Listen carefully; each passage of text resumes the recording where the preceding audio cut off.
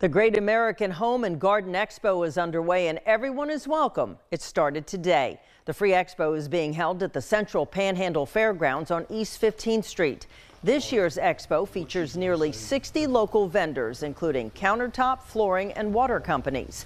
Bay Building Industries Association board member Bud Longstreth says some of the vendors will be giving away freebies. There will also be several home and garden professionals on hand to answer people's questions about rebuilding, remodeling, or landscaping.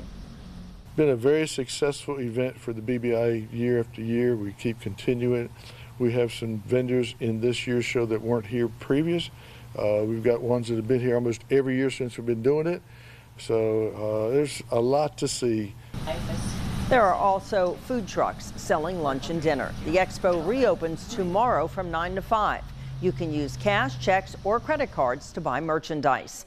Now, one of the big exhibitors at this year's expo is the University of Florida's IFAS Extension Office. IFAS has its annual Master Gardener plant sale. They started this morning with more than 1,400 plants.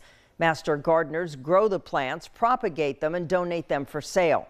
They're also there to answer questions. The plants range from $1 to $35. All of the money raised helps IFAS offer outreach programs through their extension office. So the reason that we it's first come first serve on the plants is that we don't have a nursery or a greenhouse. All of these plants are grown at individual Master Gardener volunteers' homes. We bring them in on the day of setup and we have an inspection done by the Department of Agriculture and we get a certificate to sell. And we just received word that they sold all 1,400 plants today. But the Master Gardeners will be back tomorrow to answer your questions if you're an Expo visitor.